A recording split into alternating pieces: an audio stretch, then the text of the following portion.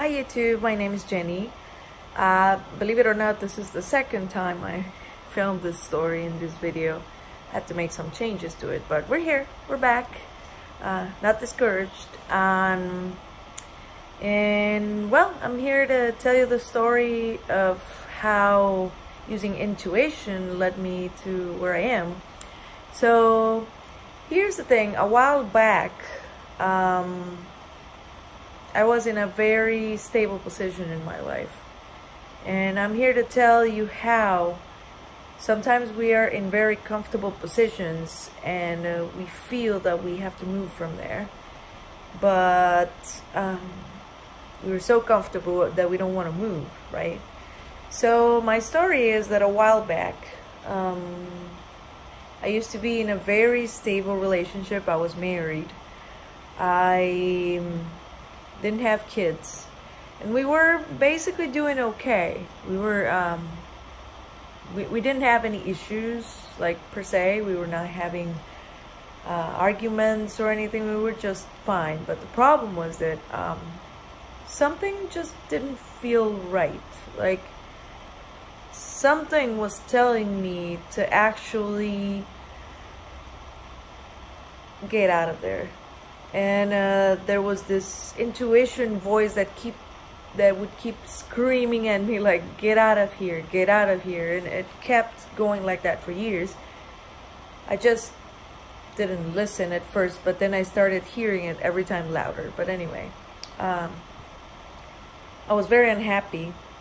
And i thought i was happy but i actually wasn't. Uh, there were many other reasons behind it that now that I'm outside that situation, I know uh, had an influence on that. But uh, the main thing is that I wasn't happy in that relationship, and uh, that made me depressed. I started getting into substance abuse and other things that I'm not very proud of, but some of us have those phases in life, I guess.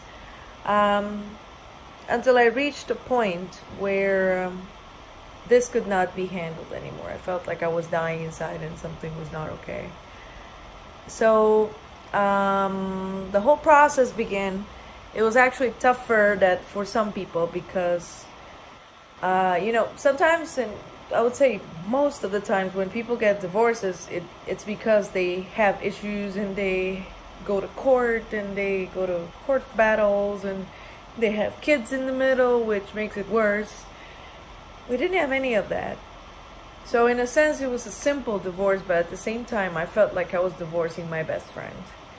And um, I was very discouraged because it, it made me be very afraid of leaving my happy or like my safe zone, or we would call it the comfort zone. So, um, the thing is, so the divorce happened, and then I was trying to heal, and I actually started like feeling better about stuff. Even though I was feeling bad, I, kind of had like this intuition and this notion that everything was going to be fine. So, a while later, uh, a few months later, I met my current boyfriend, and this is where the story actually begins uh, because I um, reactivated my Tinder account. I had a Tinder account previously out of curiosity, I guess. Um, but then I reactivated my account, uh, and I was at the time in the United States. And then um, I dated, dated a couple people here and there and whatnot. And then I got back to my country, and then uh, he and I started talking, and then we started going out. And um, a few months later, um, he started this process of job recruitment. So he was contacted by a company here in Sweden and uh, they wanted to start the whole process with him. So the, he did the first interview.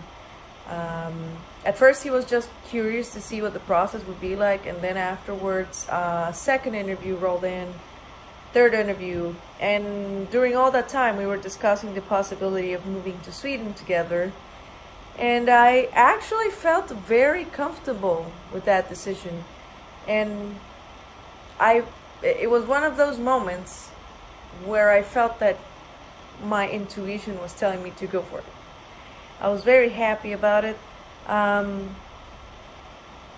we had and have a very special relationship. We both feel very connected to each other. I actually felt that this was something provided by the universe because I, of course, divorced and didn't expect to meet someone quickly.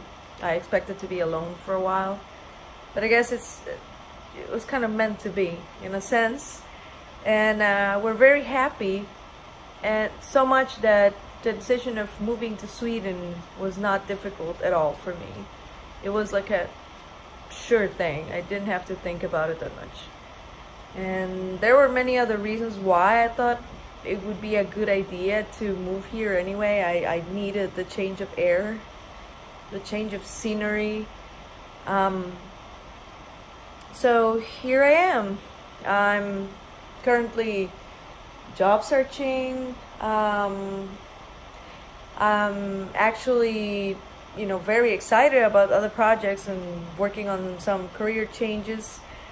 Um, but my moral here, the moral of the story that I want to transmit to everyone is that your intuition is always right. You need to learn how to listen to it and when you listen to it actually pay attention and do whatever it's telling you to do or not to do.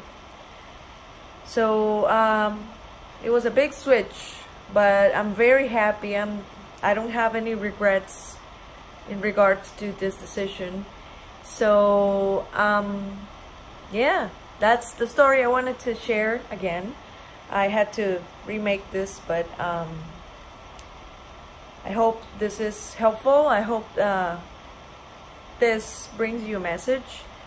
And these are the kinds of things that I want to keep publishing in this channel.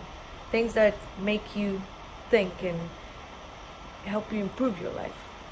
And um, yeah. Thank you so much. If you like my content, you can subscribe to my channel. Bye.